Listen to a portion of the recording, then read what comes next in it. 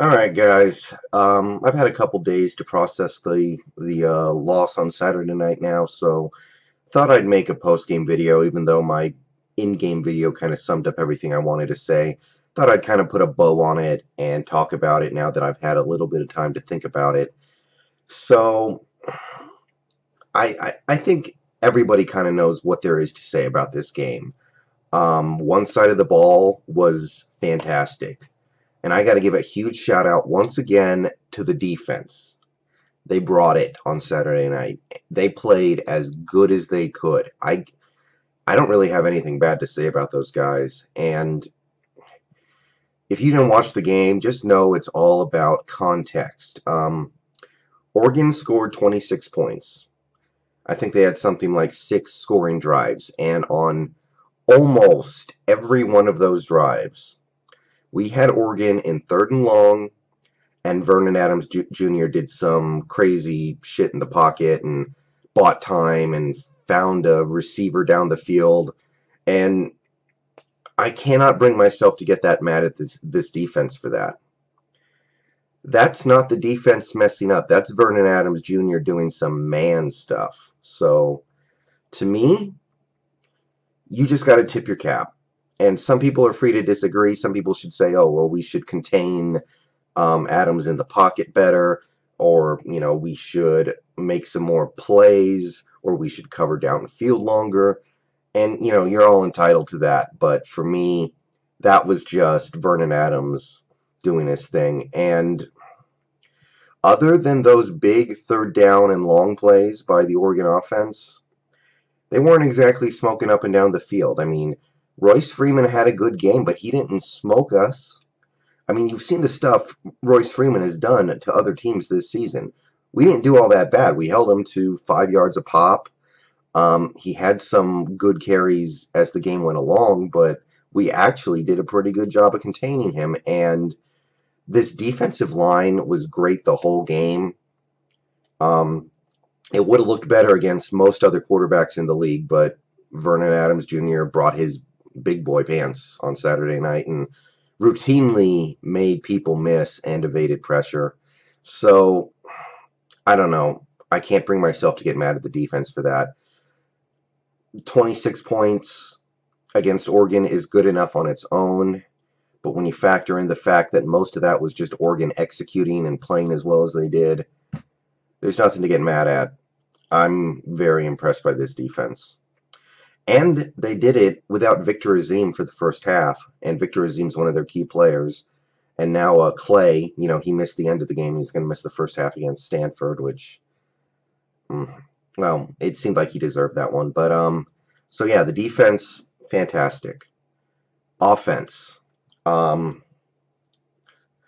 you know, I'd give the defense an A, and the only reason I can't give the defense an A plus is because they didn't force a turnover. The offense C minus. Pretty disappointed in that side. And, you know, I understand that Browning didn't play great. He played pretty good.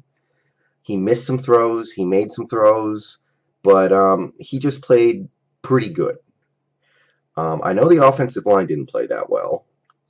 And I know um, Devon Coleman, or uh, the running back, the backup running back, dropped an easy touchdown pass. I mean, he was already in the end zone. It was a done deal, and he just let it bounce off his hands.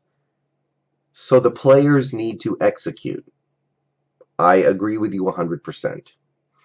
I know that, you know, people who are going to disagree with what I'm going to say here are going to say that.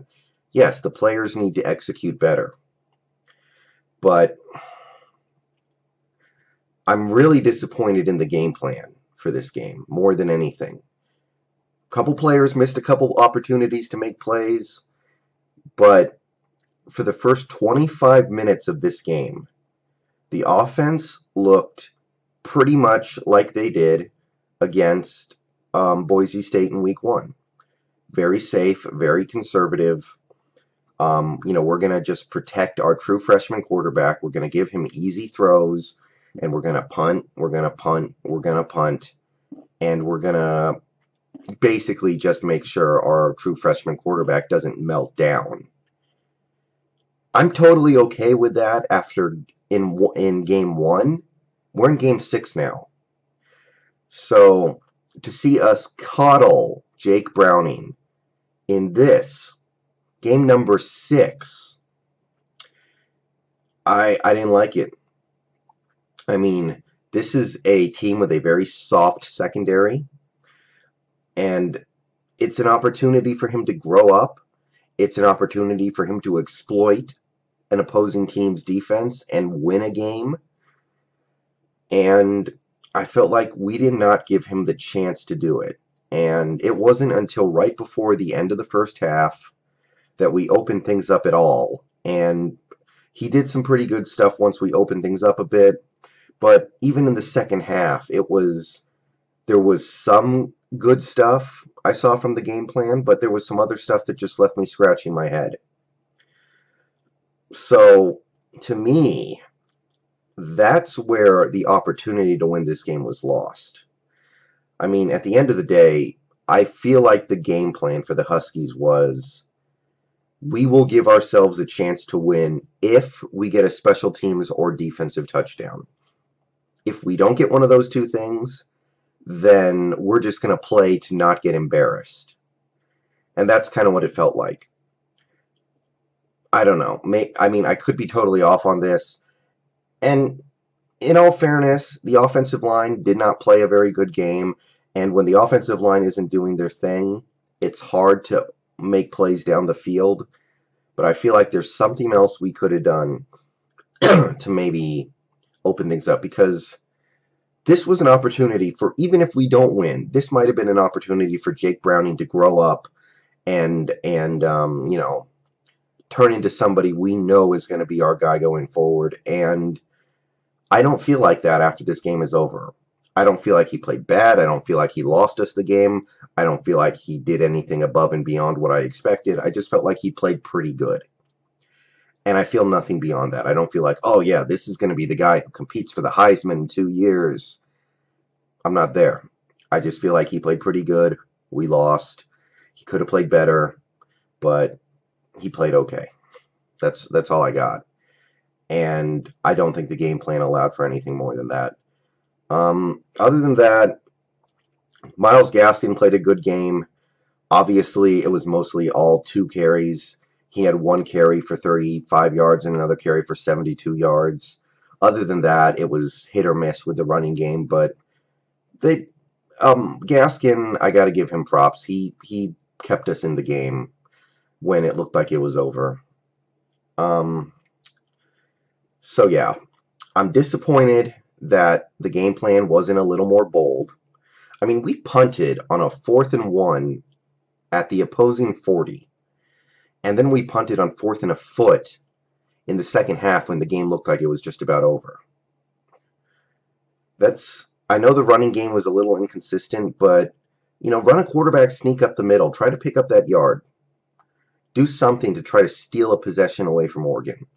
Because we saw repeatedly last night, or Saturday night, Oregon, they were going to they were going to convert those third and longs. There was nothing we could do to guarantee um, getting off the field.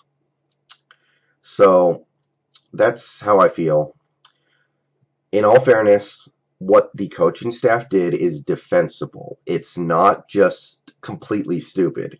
He's still a young quarterback. It's still a young team. It's a young offensive line. I understand why they did what they did. But I just personally don't agree.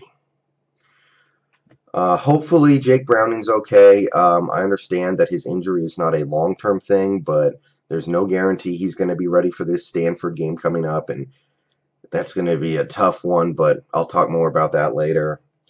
Um, so mixed bag at the end of the day. I see some things on this team I like, saw some things I didn't like. At the end of the day, not too surprised with the result, and got to keep moving forward. See you guys when it's time for me to make another video.